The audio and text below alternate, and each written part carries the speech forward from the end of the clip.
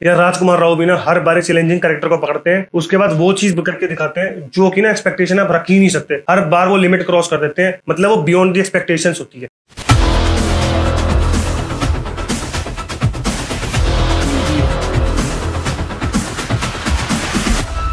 Hi guys मैं हूँ कृष्ण और श्रीकांत आ रहा है सबकी आँखें खोलने। का ट्रेलर ड्रॉप हो चुका है और ये एक ट्रू स्टोरी पर बेस्ड है, जिसमें वॉइस ओवर देते नज़र आएँगे आपको शरद केलकर और इनका कैमियो रोल भी है। और भाई राजकुमार राव बने हैं। श्रीकांत बोला, जो कि विजुअली इम्पेयर्ड है। और यार, इसमें श्रीकांत के बचपन से लेकर उनकी जवानी तक की पूरी स्ट्रगल देखने को मिलेगी कि कैसे इतने इंटेलिजेंट स्टूडेंट जो कि ट्वेल्थ में 98 परसेंट लाए थे, वो अपनी मर्ज़ी से एक स्ट्रीम तक नहीं ले सकते। भाई, उन्हें लेनी थी साइंस स्ट्रीम ठीक है? ट्वेल्थ के बाद। उन्हें मिली आर्ट्स क्योंकि इंडिया का जो एजुकेशन सिस्टम है, वो विजुअली इम्पेयर को आर्ट्स के अलावा दूसरी को स्ट्रीम अलाउ ही नहीं करता। जिसके बाद भाई, उन्होंने उस पर केस किया इंडियन एजुकेशन सिस्टम पे उसके खिलाफ फाइट बैक करी। बाद में वो चीज़ें सॉल्व नहीं हुई।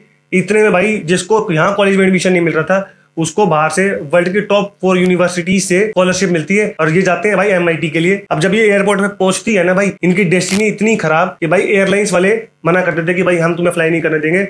वो भी सिर्फ़ इसलिए कि तुम विजुअली इंपेयर्ड हो और विजुअली इंपेयर्ड जो भी पैसेंजर होता है ना अलोन फ्लाई नहीं कर सकता, वो अलग से फ्लाई नहीं कर सकता। उसको किसी ना किसी को साथ लेकर जाना पड़ेगा, तभी वो फ्लाई कर सकता है। जिसके लिए उनके पास कोई पार्टनर होता नहीं और वो खड़े आते ऐसा कोई डिसीज़न ले नहीं सकते और भाई उनकी वो फ़्लाइट हो जाती है एमएस प्रोग्राम हो जाता है कैंसिल बाद में ये बहुत रोते हैं, तब इनकी हेल्प करती है इनकी टीचर जो कि बनी है आपकी ज्योति का। और ये भाई, ये सब कुछ झेलते हुए, कैसे ये फोर्स मैगजीन में आते हैं, कैसे ये थर्टी अंडर थर्टी की लिस्ट में आते हैं, और कैसे ये, और कैसे ये डॉक्टर एपीजे अब्दुल कलाम से अपनी लाइफ की पहली इन्वेस्टमेंट पकड़ते हैं।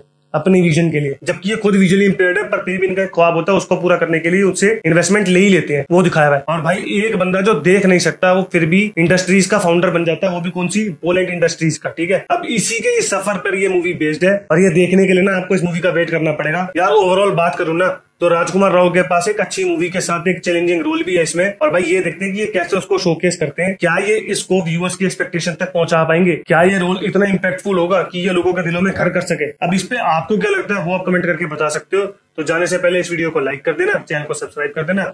मिलते हैं अगली वीडियो में, तब तक के लिए अलविदा।